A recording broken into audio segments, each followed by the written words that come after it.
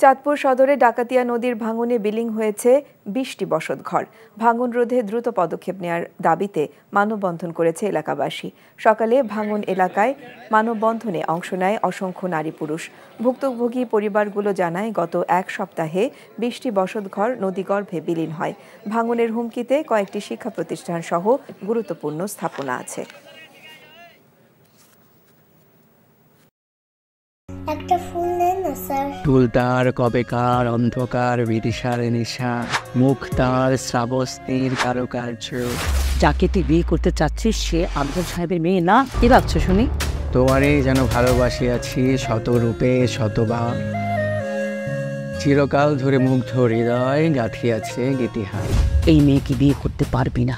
আমার তৃষ্ণার্থ হৃদয় শুধু তোমাকেই খোঁজ নাম পরিচয় বংশমর্যাদা সব ঠিক কি হয়? আজকের পর থেকে আমি তোমার কাছে মৃত।